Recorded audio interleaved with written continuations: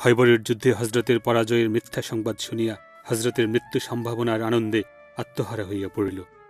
হুদাইবিয়ার সন্ধিতে হজরতের শান্তিপ্রিয়তার সুযোগ লইয়া মুসলিমের স্কন্দে ঘোর অপমানের শর্ত চাপাইয়া দেওয়ার পরও তাহাদের সহিত বিশ্বাসঘাতকতা করিতে চাহিল এবং তারপর হজরত যেদিন বিজয়ী বেশে মক্কায় প্রবেশ করিলেন, সেদিনও তাহার সহিত যুদ্ধ কামনা করিয়া খালেদের সহিত হাঙ্গামা বাঁধাইয়া দিল।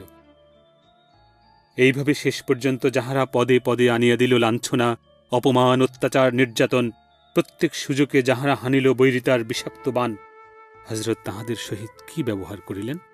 জয়ীর আসনে বসিয়া ন্যায়ের তুলাদণ্ড হাতে লইয়া বলিলেন ভাইসব তোমাদের সম্বন্ধে আমার আর কোনো অভিযোগ নেই। আজ তোমরা সবাই স্বাধীন, সবাই মুক্ত। মানুষের প্রতি প্রেম পুণ্যে উদ্ভাসিত এই সুমহান প্রতিশোধ সম্ভব করিয়াছিল। হজরতের বিরাট মনুষ্যত্ব।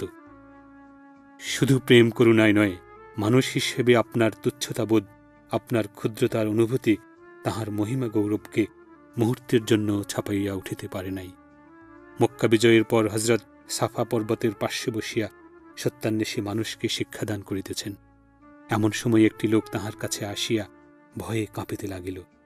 হজরত স্মিত মুখে তাহাকে বলিলেন, কেন তুমি ভয় পাইতেছ? ভয়ের কিছুই এখানে নাই। আমি রাজা নই, সম্রাট নই, মানুষের প্রভু নই। আমি এমন এক নারীর সন্তান, সাধারণ শুষ্ক মাংসই ছিল যাহার নিত্যকার আহার্য। মহামহিমার মাঝখানে আপনার সামান্যতম এই অনুভূতি হজরতের চরিত্রকে শেষ পর্যন্ত সুন্দর ও স্বচ্ছ রাখিয়াছিল।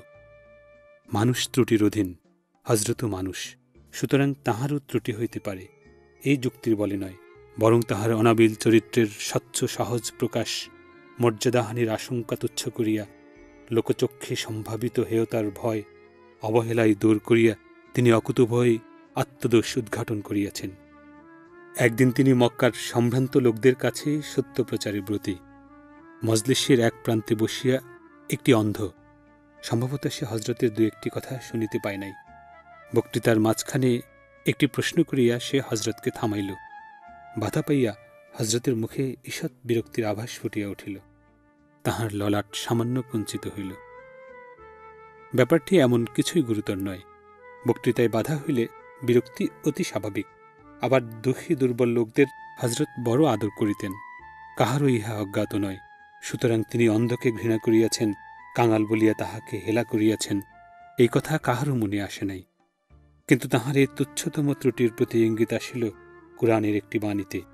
তিনি বিনা দ্বিধায় বিনা সংকোচে তাহা সকলের কাছে প্রচার করিলেন।